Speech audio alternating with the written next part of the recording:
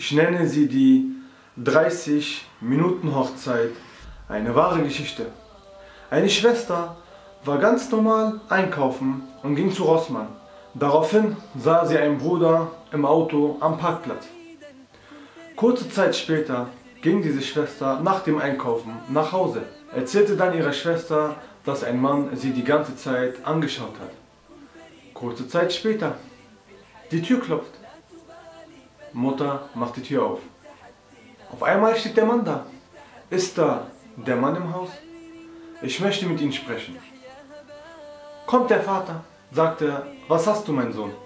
Sagt er, ich habe vorhin eine Frau gesehen, die mir gefallen hat und ich habe gesehen, dass sie in dieses Haus reingegangen ist. Und ich würde gerne um ihre Hand anhalten, wenn sie nichts dagegen haben, dann würde ich es auch meinen Eltern Bescheid geben. Daraufhin meinte der Vater, beschreib sie mir, denn ich habe zwei Töchter. Welche von den zwei meinst du? So beschrieb dieser Mann die Tochter. Daraufhin sagte der Vater, ich kann sie nicht zwingen. Ich werde jetzt reingehen und ich werde sie fragen, was sie davon hält. Der Vater ging rein, fragte die Tochter, sie hat eingewilligt und jetzt sind sie glücklich verheiratet und haben schon ein Kind. Möge Allah ihre Ehe segnen. Amin. So schnell kann wahre Liebe entstehen. Wahre Liebe, indem wir es halal machen. Und guckt mal, was für ein Beispiel. Und wie viele Leute führen eine sogenannte Beziehung haram, über Monate, über Jahre, heiraten dann. Und was geschieht? Zwei Wochen später geschieden. Hier, jahrelange Beziehung, haram, heiraten, geschieden. Da kurz gesehen, nachgefragt und jetzt glücklich verheiratet, wenn das nicht ein Beispiel ist. Und so, so können wir heiraten.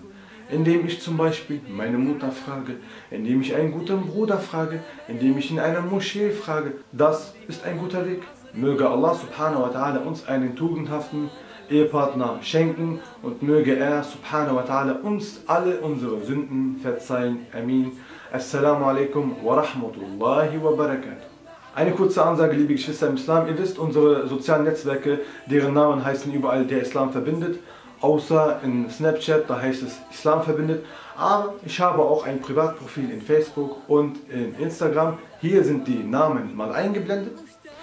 Wer möchte, kann mich dort adden. Da werde ich auch natürlich einiges um den Islam posten, aber auch natürlich private Sachen und inshallah schöne Sachen. Deswegen, wer möchte, kann mir auf Instagram folgen und wer möchte, kann mich auf Facebook abonnieren. Ich warte auf euch. يمتطي يمتطل